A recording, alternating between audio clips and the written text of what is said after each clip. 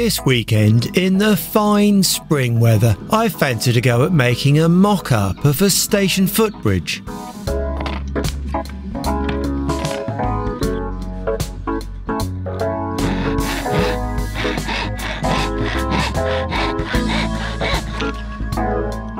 One will only be in wood, a combo of some softwood strips and thin ply pieces glued together with hot glue but it will give me the chance of setting out the shape and some details of an overall construction before embarking on, sometime in the future, a proper weatherproof unit. Hi, I'm Warren Brand and welcome to another Linleys video. I have some pre-cut lengths of softwood of 10mm by 10mm square, as well as a collection of other dimensions ready for this project. First off, I want to form the top deck for the middle platform. This will have two over-track spans coming in from each side and the stairs going down to the platform. The four columns cut first give the overall height. I'm not working to any formal plans, just some scale drawings I've sketched out in preparation. The top deck and step treads will be formed of 3mm ply with support pieces underneath. I've tried to include some design details so the four columns will be set in a little bit and the stringers, which are the side edges to the steps, will align with the centre of each column. I've worked all this out on paper and we'll see how well this works out in practice. Some underdeck beams will add bulk and strength to the structure and will hopefully be similar to that of a wrought iron reel station footbridge design. The corner columns now just locate in nicely to the cutouts.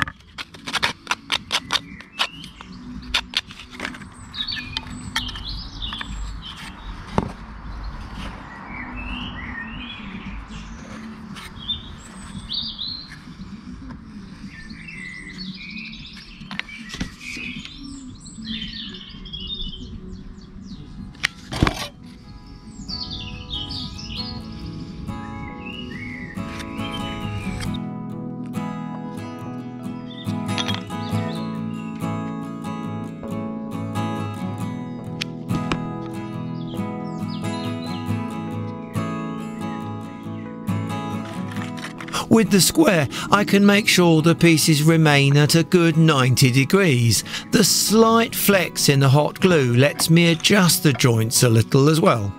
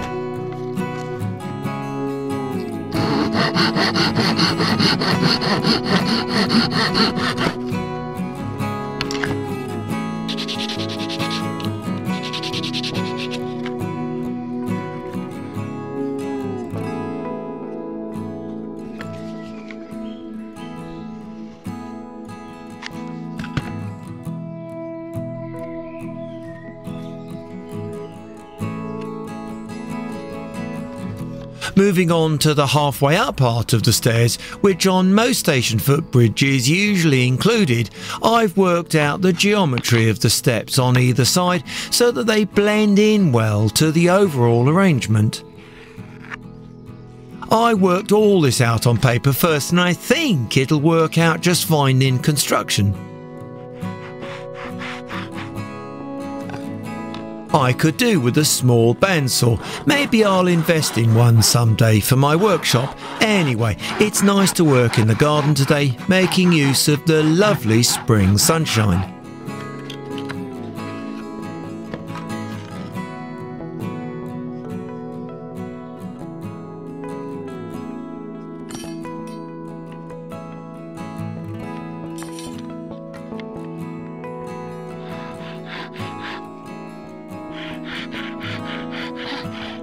In front of me, I'm using a short bit of steel angle iron screwed down to the plywood temporary bench outside. The angle iron acts like a traditional bench hook, if you know what one of those is, and saves me trying to use a vise or any other kind of clamp on my working area.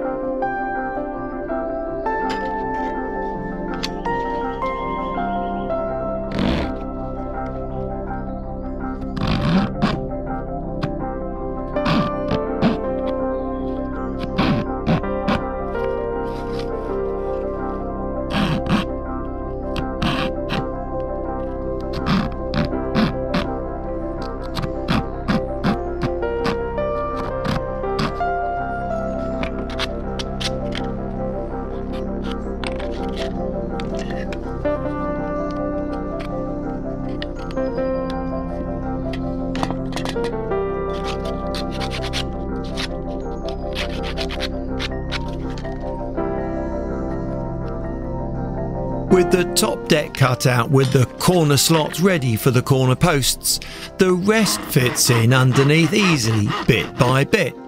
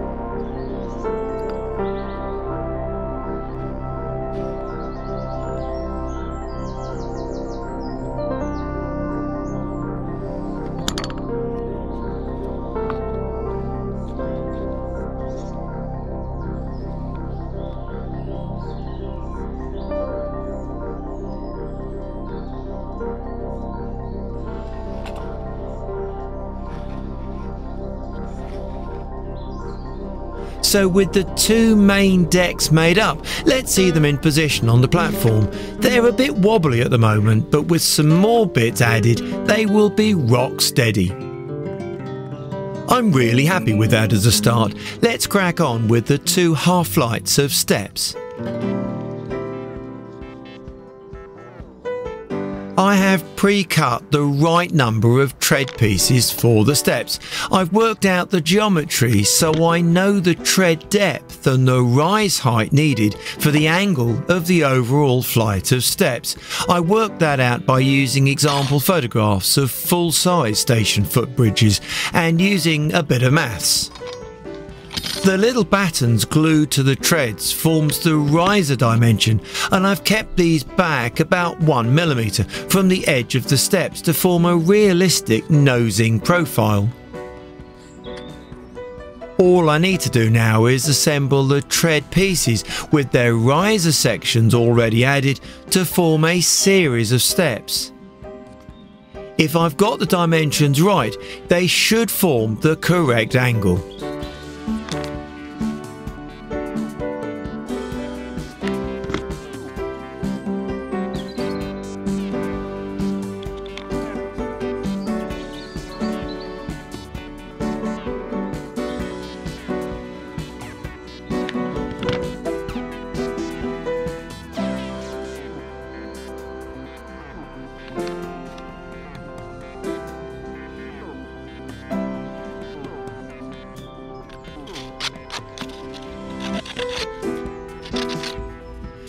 Top step has little notches cut out to fit around the column posts. The side pieces of stairs are called stringers and these are formed by lengths of 10mm wide 3mm plywood. I've left the lengths too long for the moment. Holding it all together by hand, I'll just add a weld of hot glue, bit by bit working along the length of each stringer underneath on the inside out of view.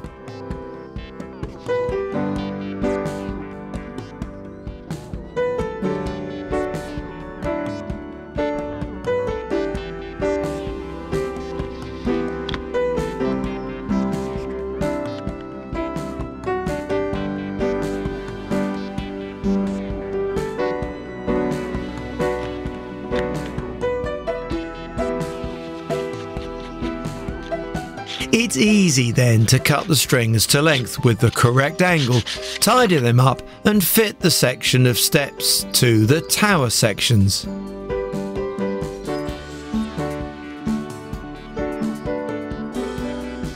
Hey, look at this. It is coming together just fine.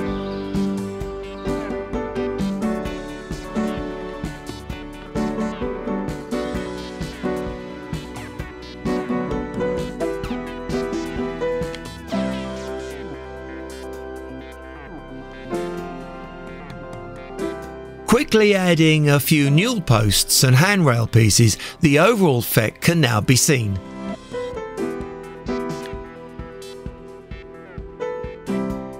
This is one of the three sets of steps needed for the complete footbridge. The one for platform 3 and 4 will be similar except for the top landing deck which will only have one side open for walking obviously.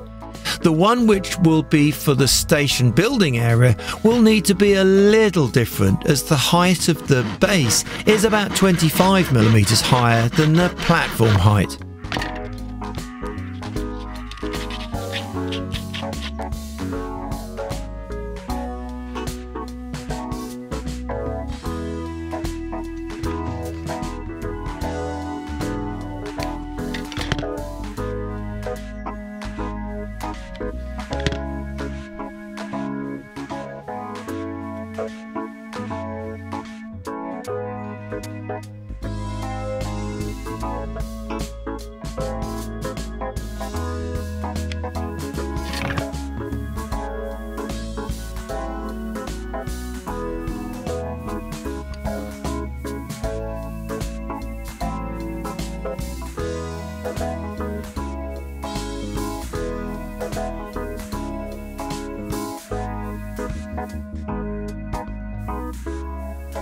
More to do next time.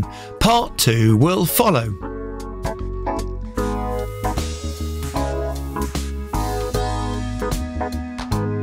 Right at the end of this video, I have links to other videos on the Linley's channel.